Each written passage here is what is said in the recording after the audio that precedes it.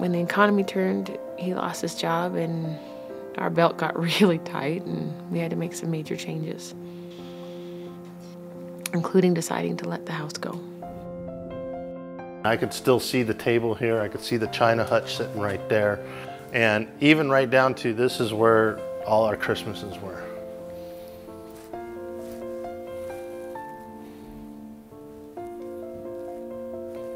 The tree would be here be around it.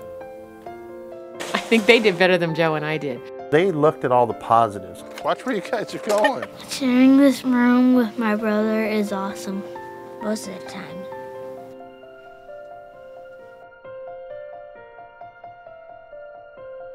Oh, thanks, hon. Perfect. Mr. Hi. Hey, Elmo, how you doing? Oh, Elmo's good. Hey, hey, do you know my wife, Deborah? Oh, sure. Hi, Miss Deborah. How are you? It's so good to see you. You too. Well, what are you hanging up there? Well, it's a sign for the community market today on Sesame Street. So this is a way to help. That's right. This is a way we can all support each other during these tough times. Cool. Well, why isn't Mommy at work today? Well, darling, there's there's something your daddy and I want to talk to you about. C- come on and sit over here, son. Sit down Okay, here. Daddy.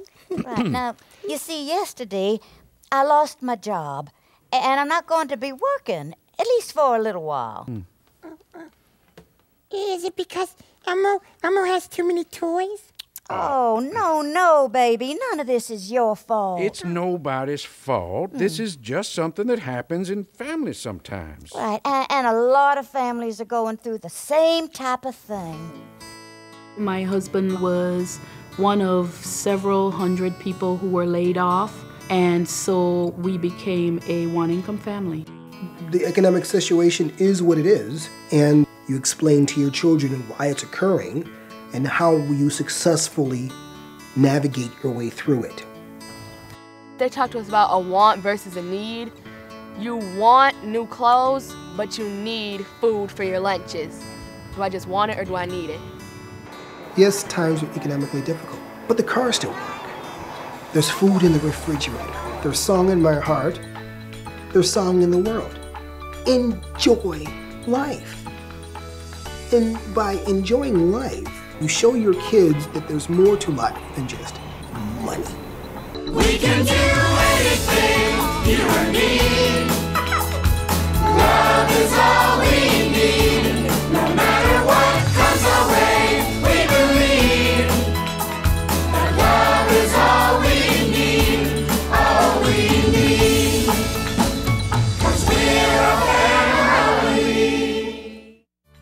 Families stand together, feeling secure in tough times. Coming to PBS Primetime September 9th. Brought to you by the Corporation for Public Broadcasting. For more information, visit sesameworkshop.org slash tough times.